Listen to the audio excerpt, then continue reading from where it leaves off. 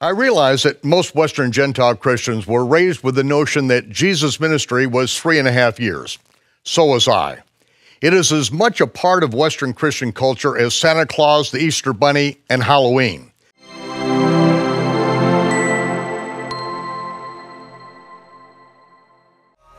Yeshua's baptism begins an unbroken chain of events that follows Yeshua for the next 70 weeks, 490 days. Living in Israel for 20 years and the Galilee for the past 12, I know the ancient Roman roads and cart paths that still link the villages of Israel today. I know how long it takes to walk from one point to another. In this series, we will follow Yeshua's travels as detailed by all four gospel authors. These accounts are without error or contradiction, but sometimes they contradict the impressions we inherited from our religious systems and Hollywood. I realize that most Western Gentile Christians were raised with the notion that Jesus' ministry was three and a half years. So was I. It is as much a part of Western Christian culture as Santa Claus, the Easter Bunny, and Halloween, and just as contrived as forcing Yeshua's three days and three nights in the grave into the pagan festivals of Dagon, the Assyrian fish god Friday, and Easter, the Babylonian sex goddess Sunday. What I didn't know until after more than 30 years of historical and biblical research was that one man in the fourth century fabricated a three and a half year ministry of Jesus out of the thin blue sky. For more than 300 years, there was not one dissenting opinion voiced among the early church historians or the disciples of the disciples of Yeshua himself that Jesus' ministry was about one year. In the fourth century, one man, the court bishop of Constantine, was attempting to decipher the enigmatic 70 weeks prophecy of Daniel, a prophecy that even Sir Isaac Newton was unable to solve. His solution? He said Jesus' ministry was three and a half years, which is one half of a week. Since when is three and a half years one half of a week? It immediately alerts the Bible student that Eusebius was attempting to decipher Daniel's 70 week prophecy. It was a wild and unsupportable assumption that ignored more than 300 years of unchallenged testimony from the sapient witnesses.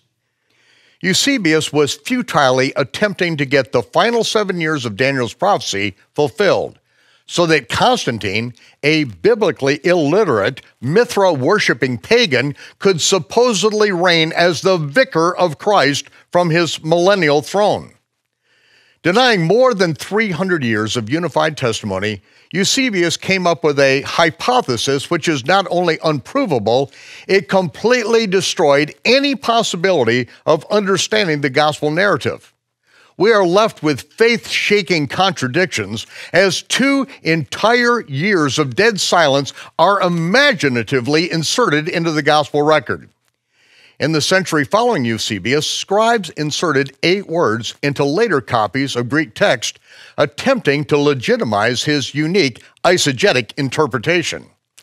Those eight words added a fictitious feast of Passover in the sixth chapter of John at the time of the feeding of the 5,000, at the end of the summer. But Passover is six months later in the spring. The next event in the seventh chapter of John is the Feast of Tabernacles, again, six months after Passover. The other Gospels have the feeding of the 5,000 at the end of the summer, and they are on their way up to the Feast of Tabernacles in the same chapter, the very next week. Neither Yeshua the population of the Galilee, nor the Pharisees are at Jerusalem for this fictitious Passover of John chapter 6, verse 4. By adding a Passover at the time of the feeding of the 5,000, an entire year of dead silence is introduced into the gospel record. All of the early church fathers and historians of the first three centuries either stated plainly or never contradicted that Jesus' ministry was about one year. Yeshua goes up to Passover in John chapter 2 when he meets with Nicodemus. He goes up to Passover in John chapter 12 when he was crucified. It would take a little more than one year to fulfill those two Passovers. If the historians and church fathers of the first three centuries had a third Passover in their text of John, none could have been so foolish as to not understand that it would have taken well over two years to fulfill three Passovers. Yet they all said his ministry was about one year. Copies of manuscripts that predate the Eusebian forgeries still exist in museums. In these ancient manuscripts, there is no Passover in John chapter 6. No one goes up to Jerusalem to celebrate the Passover of John 6 4. Yeshua feeds 5,000, and then four days later, another 4,000 with leavened barley loaves during what would have been the feast of unleavened bread, matzah. The Capharnaum synagogue was packed with those who do not go up to a feast. That week, Pharisees come down from Jerusalem to challenge Yeshua on why none of his thousands of disciples were washing their hands with the two handled Nagelwasser before they ate leavened bread.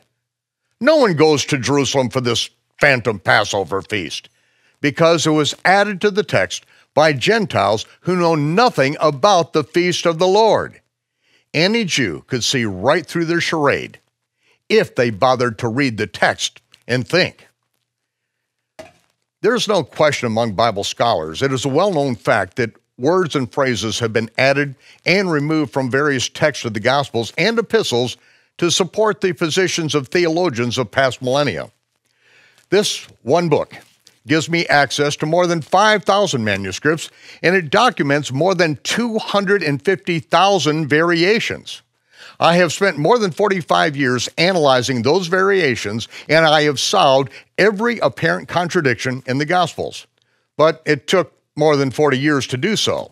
Today, the text of the Bible is ignored.